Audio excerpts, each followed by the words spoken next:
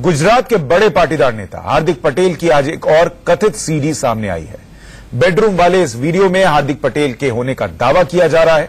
हालाँकि India news इसकी पुष्टि नहीं करता।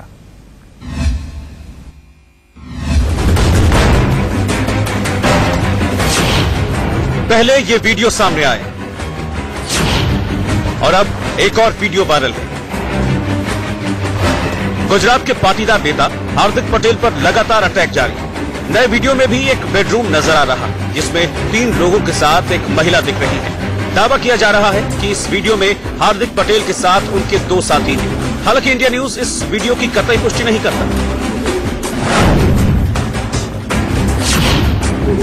इस सीसीटीवी वीडियो में जो तारीख दिख रही है, वो है 22 मई 2017 जबकि इससे पहले वाला वीडियो 16 मई 2017 का था।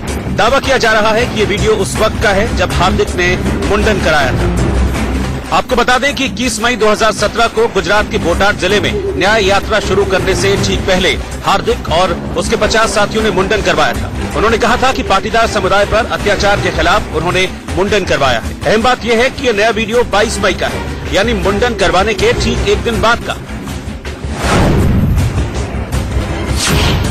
हालाँकि हार्दिक पटेल पहले ही कह चुके हैं कि ये बीजेपी की साजिश है। पूरा प्री प्लानिंग चल रहा है कि अभी ये किया पुतले जलेंगे तो कोई दिक्कत वाला मामला नहीं, ऐसा चलता रहेगा। लड़ाई जारी रहेगी, मजबूताई से जारी रहेगी, जिसको जो करना है कर ले, जिसको जो उखाड़ना है उखाड़ ले, छाती ठोक कर भाजपा के सामने लड़ेंगे। अहमदाबाद से अरविंद शर्मा के साथ ब्यूरो रिपोर्ट, इंडिया न्यूज़।